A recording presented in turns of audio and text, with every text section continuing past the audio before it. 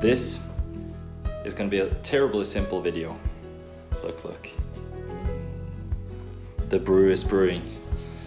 I don't have time to make videos as much right now, so I just wanted to give you a, tiny little update.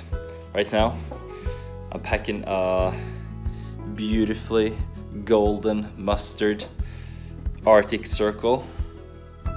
More packages going out tomorrow morning. Um, as many of you know, I don't work full time uh, with Red Hat Factory.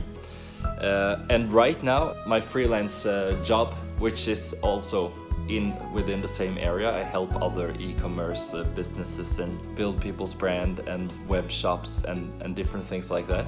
And this is high season for it. So I barely have time to, to maintain the brand. So I just focus on the most important things, which are get the orders out in time as best as I can, uh, make sure to get, give good customer service, and I'm trying to focus on things, the things that take the least effort but give the most payoff, which would be now.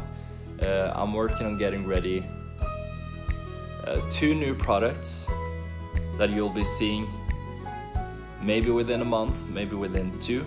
And I'm working on a new batch of these guys. That will be ready very soon, maybe about when this video comes out. So thanks for watching this. Thanks for all your support. I appreciate it so much.